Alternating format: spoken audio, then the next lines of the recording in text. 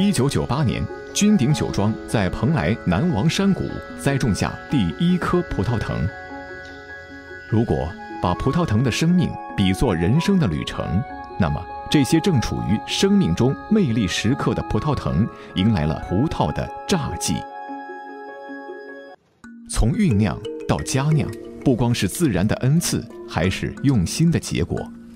人工采摘工作繁重，成本高，但操作过程细致温和，能最大程度减少对果实的伤害，使得采摘的每串葡萄成熟且颗粒完整，为后续酿造打下了品质基础。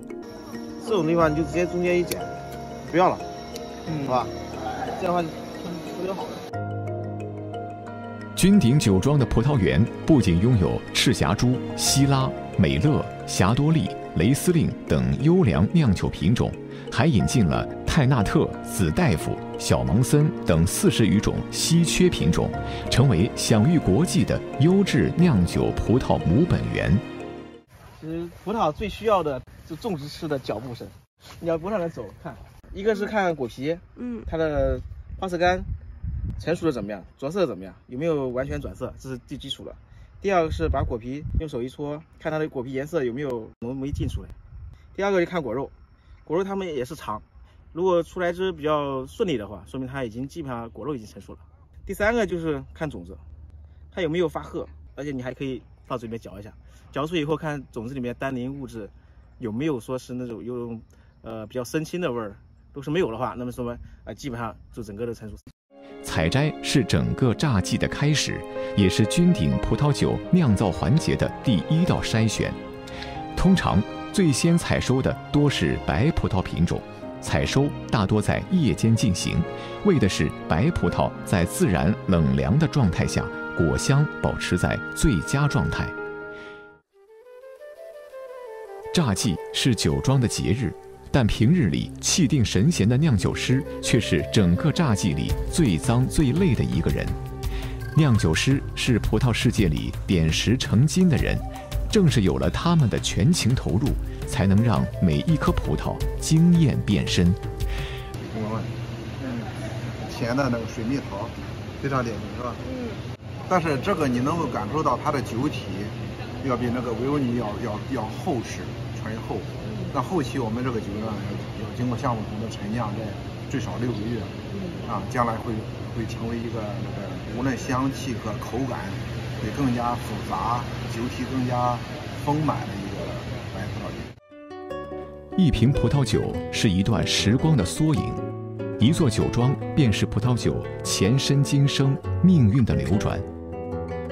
建设于二零零七年的君鼎酒庄属于国家四 A 级葡萄酒主题旅游景区，西班牙风格的酒庄建筑，五星级的葡园酒店，美景、美酒、美食，无疑是一个开启个性化旅游的完美目的地。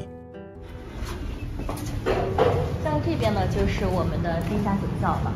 呃，它是位于地下十一米深，那整个酒窖的面积呢是达八千平米，也是亚洲最大的多功能型地下酒窖。当年在建设酒庄时，从地下开采出了很多秀玉，他们的陪伴让这里的葡萄酒多了一丝灵气。如果是说我们酒窖内的湿度过高的话，它会进行一个湿吸收；湿度过低的时候，它会进行一个释放。啊，你像我们前方看到的，就是我们的凤凰湖，整个酒庄它是三面环湖而成的。像这边呢，我们看到的是东方长廊，呃，像我们当地的很多的婚拍以及电视剧取景都在这边进行拍摄。啊，每个拱洞呢，我们看出去都是不同的风景。秋季来君鼎酒庄游玩，可以体验采酿季独有的葡园采摘、葡萄酒自酿活动。我们从江苏，江苏过来的，就是过来玩儿。对，对对对，嗯，过来玩的。比较喜欢酒啊这些，所以来看看葡萄的种植、采摘，然后酿酒整个一个过程。从一九九八年开始，君鼎酒庄从法国、意大利、德国引入两百多种优质脱毒嫁接葡萄苗木，从根本上改变了中国酿酒葡萄苗木的品种和品质。